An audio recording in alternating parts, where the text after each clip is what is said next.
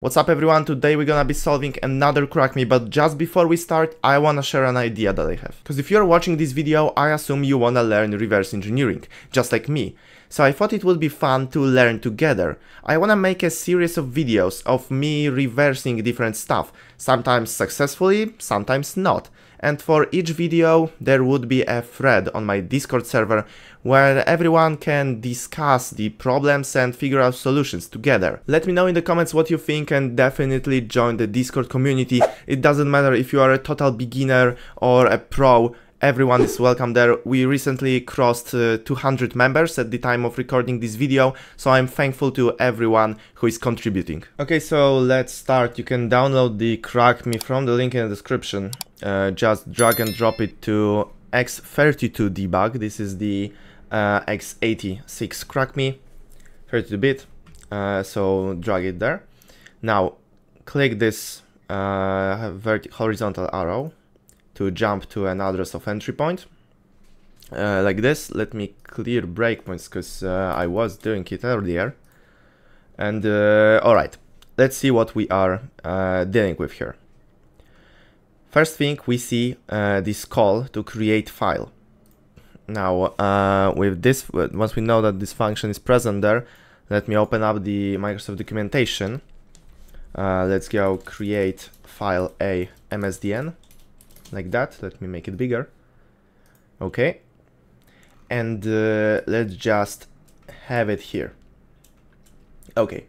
So uh, we have this uh, push instructions before the function. So these are the arguments that are uh, passed to the function. They are in reversed order. So basically this, as you can see, it's data.txt. We can double click, uh, right click, sorry, follow in dump, reverse uh, here to this address and as you can see here down at the bottom at this address uh, 00403.000 there is data.txt uh, string.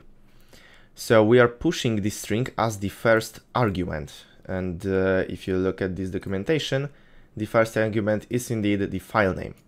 Alright then we have desired access share mode lp security attributes uh, creation flag, but this, uh, the creation flag, I believe, is what is interesting for us right now, because uh, with create file, you can both create a new file and uh, open an existing, and uh, and creation disposition parameter takes care of it. it. You can specify the action here, so and you can see open existing is free, and we have indeed value free right here.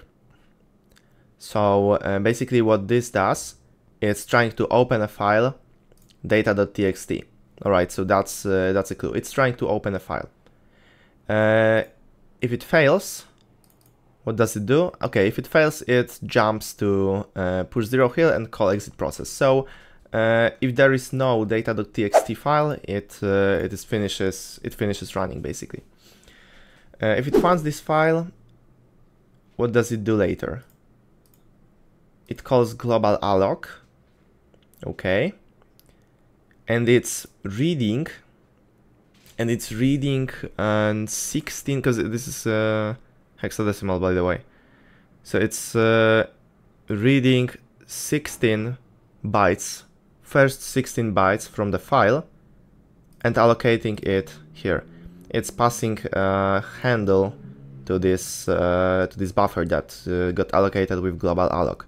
Both these functions, of course, you can, let's say read file, let's say you want to check read file, so again, read file here, and uh, you can see that handle to a file is needed, LP buffer, and uh, number of bytes to read, number of bytes read, LP overlap, so these are the parameters, and we are indeed uh, passing not we, but this program is indeed passing it, passing the parameters there. Uh, Alright, so we are reading this file, then we close the handle, and then we call some function. So uh, let's actually open up this and create a file data.txt and let's put for example b so one two three 4, 5, 6, 7, 8, 9, 10. 11, 12, 13, 14, 15, 16. So let's say 16, uh, 16 uh, letters, chars, 16 characters. Uh, all right, and let me uh, minimize that. And if you see there is this uh, circle arrow, if you click it, it uh, is basically starting over the debugger. So once again, click here to jump to the address of entry point. Let me set a breakpoint right there. Or maybe no, let me set a, set a breakpoint at the first instruction of this uh, function. If you double click, it will bring you uh, to this uh, to this address. So basically everything that has jump or call, it will bring you to uh, the address that it's jumping or calling. Uh, all right, but let me uh, step over with this arrow. You are stepping over each instruction, so it's doing something. You can see at the right, you have this view of uh, different registers and flags. So you can see them changing. Uh, if you are new to X uh, to this uh, to this program, it may be confusing. But oh wait, as you can see, we jumped to uh, we jumped to the exit. So something is wrong. Let me let me do it one more time. What is failing? Okay. All right. So we are, we failed to read data.txt for some reason. Mm, why is that? Okay, uh, pretty obvious, because uh, I shouldn't uh, have specified this extension. If you if you do that, it's basically data.txt.txt. Okay, uh, so let me run it one more time. Again, this, and now it should be all fine. We call this, we compare, and uh, yeah, we are good. Great, so uh, now it's allocating some memory and reading the file, and it is reading it to this location, I believe. So let me follow it in dump. You can see it here, right there. So if we step over, we should see, yeah, exactly. At this uh, address, it's content of our file is present. Great, so now it's closing the handle. It uh, will not use it anymore. It clears the EAX register. As you can see, it's right now it's one and then it is all zeros. What do we have now? We have this call reverse. I have a breakpoint there, so it should bring us to this function exactly. And what does it do? Uh, it, uh, it's setting up the stack, so pretty basic process. It is loading, uh, it is loading these addresses where the strings are to ESI and EDI. So you can see ESI changes with the address of what are you doing string, uh, the base address. So the, the first, uh, the, the address of the beginning of the string basically. And the same goes for the content of our file. They are both uh, 16, uh, 16 characters, including the question mark, of course. Now, uh, we're testing, we are moving uh, ESI to AL. So AL, it basically holds one character from this, the first character. So right now it's W, right? 57 here. This is the hexadecimal representation of W. And uh, if it fails, if it's not a null, if it's not a null, we if it is a null, we jump to this. So one zero two three. So it's here. So if uh, if there is so basically if there's no characters left, it is uh, returning from the function. But there are characters, so it's uh, doing ROR AL3. So this is uh, rotate right. And how rotate works, it's basically you can imagine a string of ones and zeros, and uh, you basically uh, take the three uh, by the three characters on the right. Let's assume it's one zero zero, and you put them at the beginning. So it's like sliding all of these ones and zeros to the right, and by three. And you, you I mean, I mean. Uh, I hope you understand it. It's uh, it's pretty hard to explain it in the air, but uh, but yeah, you're basically putting the last three characters at the beginning, sort of. All right, so we're doing this, and if you do that, you have uh, EAX becomes zeros and EA. So this is a different character. You XOR AL with EDI. So we are basically XORing here the first, uh, so XORing the this EA with uh, B, with the this first character, right? And uh, now we increase ESI, increase EDI. So our registers are now pointing to the next letter, uh, to the next character in both of those uh, in both of those uh, texts and we loop. Okay. Yeah, basically that's what it is doing. And if you if you keep looping here, you can see at the bottom that our string is changing. Okay, our string is changing here. So I so we are effectively uh, obfuscating it.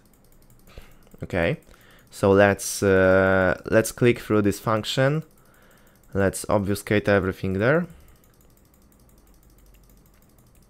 Okay, one more iteration. And now AL is null. So you can see there is no, there is all zeros if in EAX. And AL is the lowest part of uh, EAX, of course. So this jump should be executed, it is. We add, we, we are restoring the stack and we return from the function. Great, here we are clearing the uh, EAX register and let me uh, now double click this function because it is another one that we're gonna be calling soon. And that, so let me break a point, set a breakpoint here. All right, let's go back to uh, to our instruction that we are currently in. So let's jump. Uh, I mean step over.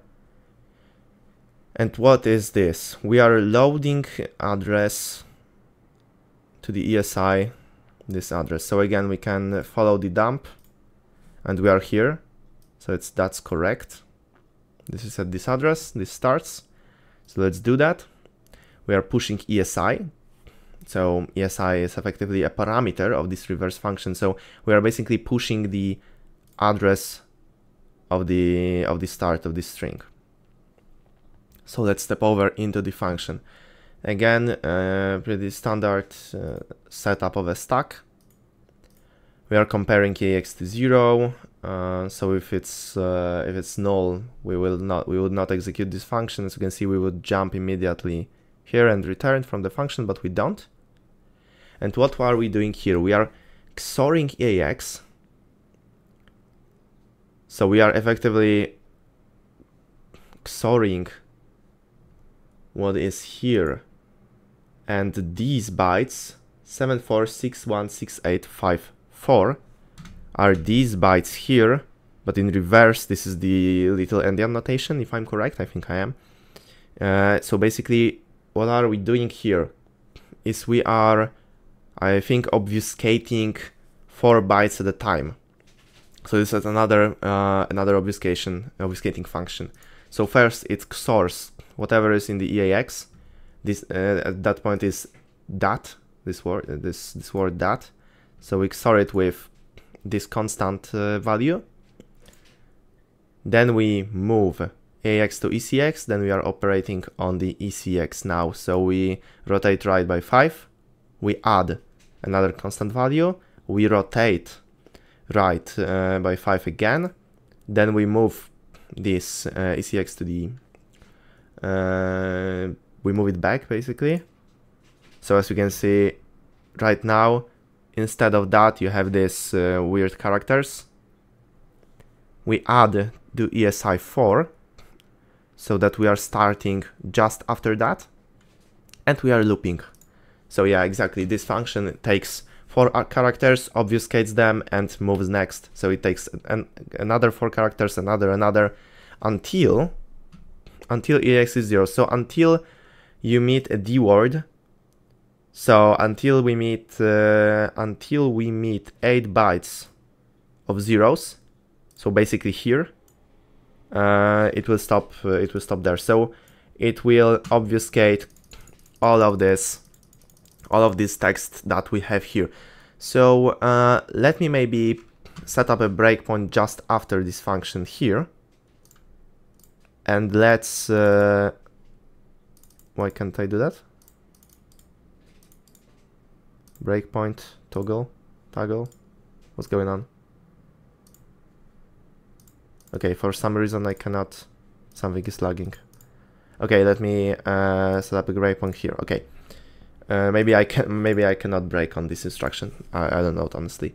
But uh, yeah, so let's jump jump over here. As you can see, all of this is uh, obfuscated. And what it's gonna do now, it's gonna load another uh, it's gonna basically do it one more time, but starting from a different uh, point. So it's gonna, where is it? Uh, free to following dump.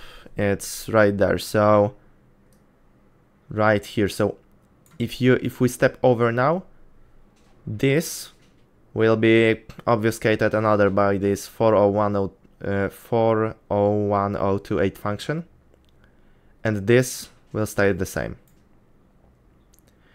So uh, we can step over pretty much because we already know how it will go. Let me delete these breakpoints.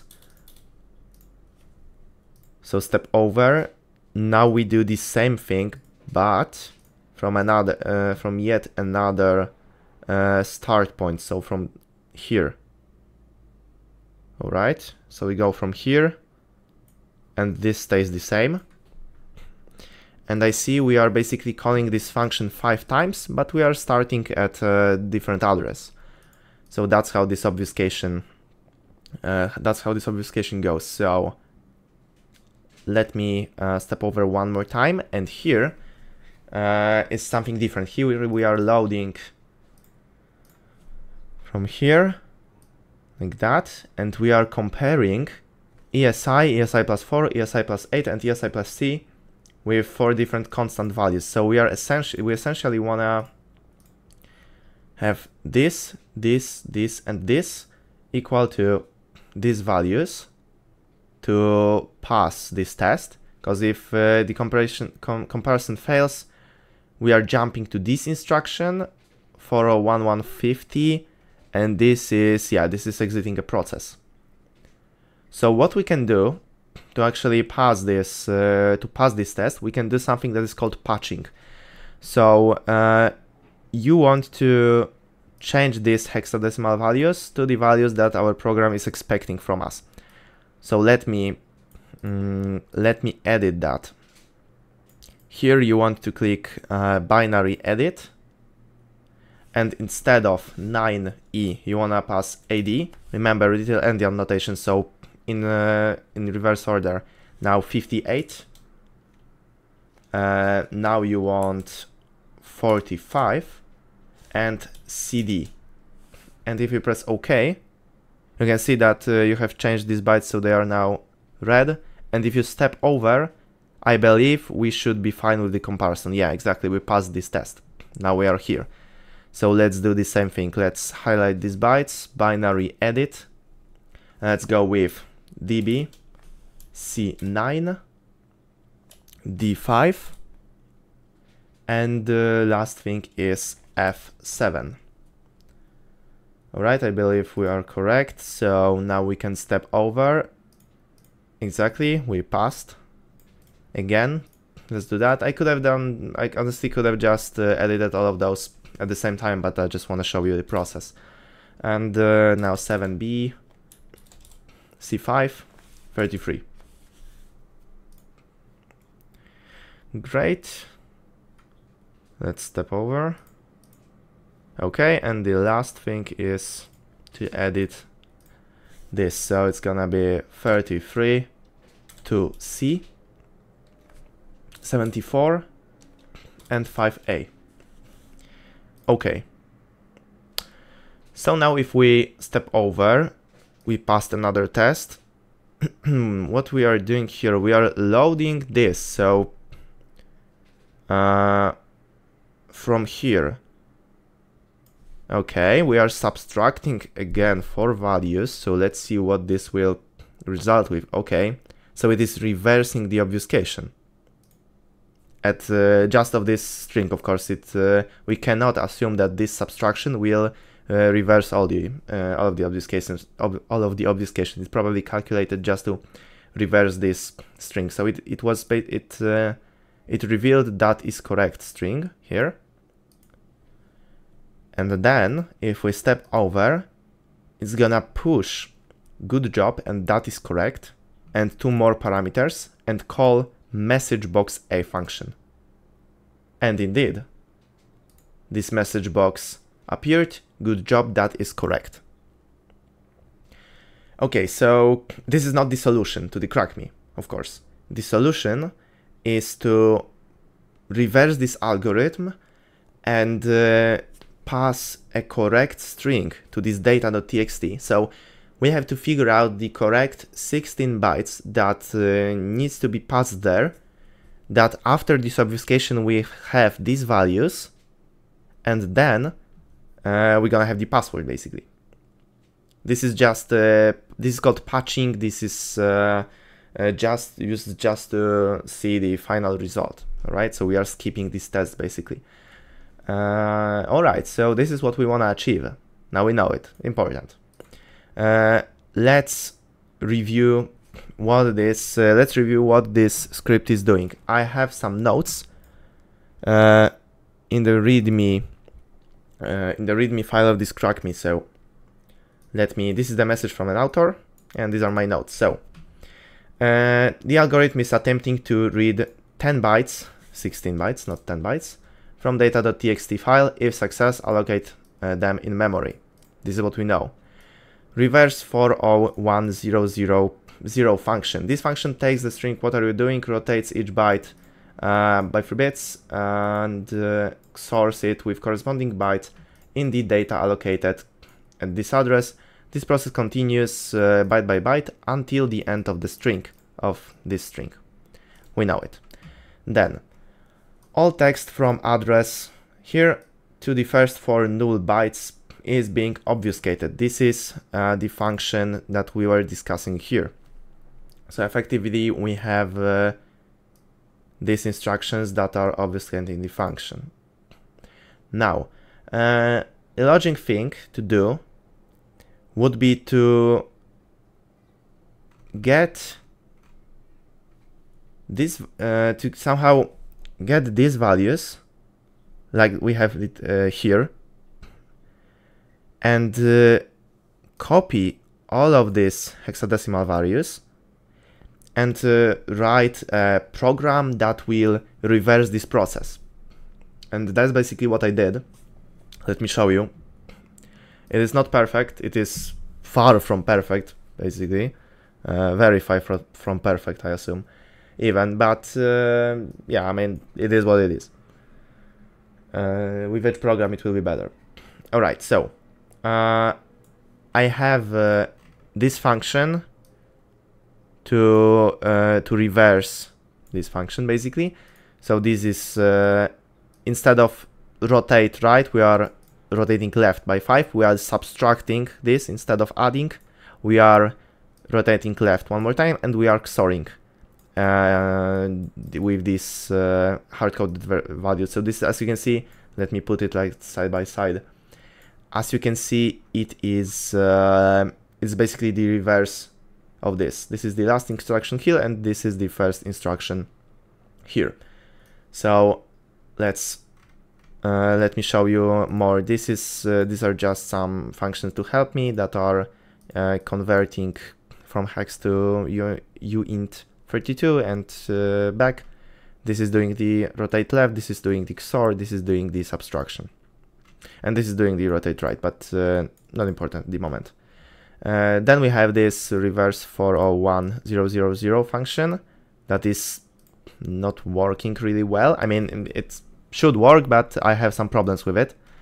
And uh, basically what I did is I I came to the point that I had this uh, this uh, string. I basically uh, did what we did now.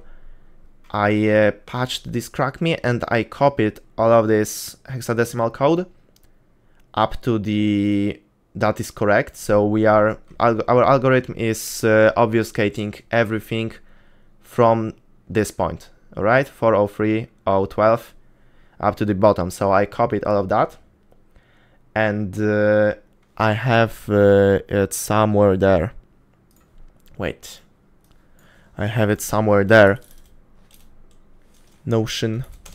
Let me open up my Notion. It should be right there. So I had this input. This was my output. I had to adjust because uh, my I, I didn't uh, implement automate uh, automated padding, so I had to adjust the zeros at the beginning to uh, to make our, my script not crash because it will it will crash if uh, it is not dividable by eight. I mean the count of characters. Uh, right, it is expecting it. So I had to do some stuff with padding, but basically this was the input, this was the output. Again, input, output. So as you can see what I was doing here, I was running this function and then I was adjusting the starting point. So I was deleting some bytes from the end because uh, it is in reverse. You have to uh, you have to see that if you take uh, from my notes, if you take this and we reversed it here, and then uh, so this was the output of the first uh, of the first reverse. This was the input output, so I was shortening it, and then when I got the uh, the ultimate, like the final output here, I had to add these bits that I deleted earlier, so that I can fill those two. I'm gonna show you it in a second, maybe the process, because it will be easier to understand. Uh, but basically what I ended up with at the end is this. This is this string here is wait hex to ASCII. Uh, so I can show it to you. If you paste it here, you see that it is in reverse. That is correct exclamation mark. So basically this script is working. If you copy this, you will see a string what are you doing in reverse? Actually, I should have included this probably uh, at the end because it is an, I think it is an exclamation mark. Uh, not exclamation mark, but a question mark. But anyway, yeah. This is some data that I have no idea uh, where it comes from. Something like this. This is what I assume is the correct is the correct uh, code uh, without this uh, without this first obfuscation because this is just this is just reversing I'm just reversing this function not not this it's important and this is some dummy data uh, at the end. I did it first with uh, my input. I did it first. Whoa. What is going on? Kanye, be quiet, please. And I did it first with my input, uh, not with uh, patched input, and uh, I was successful. I was successful. Uh, I was successful in retrieving what I uh, first, what I first uh, had had put in this data.txt. So I assumed that it should work with this final. But when I put this, and by the way, uh, when you want to put this inside, uh, when you want to put this inside this, uh, to reverse it, to reverse this this function, you have to start with A4. We have to reverse this little endian notation. As you can see, A4 is last here, and A4 is 4 here. So these are the 16 bytes that I got. This is the hexadecimal code for what are you doing exclamation mark string. And uh, but basically when I run this code right now, it's prompting up some uh, some garbage. Oh wait, it uh, doesn't actually. Uh, for some reason. Okay, whatever. Uh, I probably uh, was editing something and forgot forgot to to make it work again. but what's going on here? I, I basically got stuck here because I wasn't able to retrieve the correct code and uh, I will copy this. Uh, I will copy this program uh, on the Discord. I will paste it on the Discord channel in uh, in the corresponding thread. As I said at the beginning, uh, this is one of these videos that I want us together to work at. That's, this is the idea basically. So uh, once again, join the Discord server, and uh, there will be this code with my notes, with my notes and everything I uh, figured out about this algorithm. So uh, you're welcome to contribute to the discussion. I'm sure. I'm sure it's uh, it's very. I have some very easy mistake, very silly mistake here, because it should should work. Uh, some something like that should work. Uh, but yeah. Anyway, this is the process of reversing this crackme. I almost got to the end. I'm very close. Uh, so I hope some of you will reverse it. I'm probably sure that some of you will reversing. There are a lot of smart people at the Discord community in the Discord community, and I hope you are one of them. if you are not one of them, join the Discord community. Again, link in the description. Uh, everyone is welcome. And, uh, and I think that's it for the video. So thanks for watching and uh, I normally don't put videos like that, like unfinished videos. Uh, I always try to finish uh, every project to the end and not show you all of the mistakes I'm making at the process, but I think it would be uh, cool to connect with you this way and I'm sure we can uh, exchange a lot of knowledge and to learn from each other and that's what I want to achieve. So I hope you like it. Uh, let me know once again what you think about this idea in the comments. If do you wanna have more videos uh, like that when I just uh, explain stuff uh, line by line? and uh, this is sort of like a, more like a chatting thing and not uh, not really scripted and planned from the start to the to the end. So yeah, once again, let me know, leave a like, subscribe, and as always, see you soon.